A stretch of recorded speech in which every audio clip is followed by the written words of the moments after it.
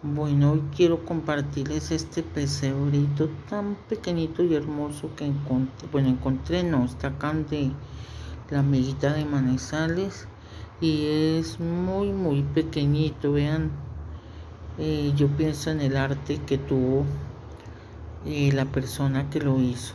Vean, acá coloco mi dedo para que vean qué pequeñito es. Es bien, bien pequeñito, bien hermoso. Yo me imagino que lo hicieron en arcilla o en porcelanicrón y lo decoraron con, con como con brillantina. Ahí les dejo esa idea. Espero que les guste, que me cuenten si les gustan los pesebres o no. De todas formas, ahí les dejo esa idea.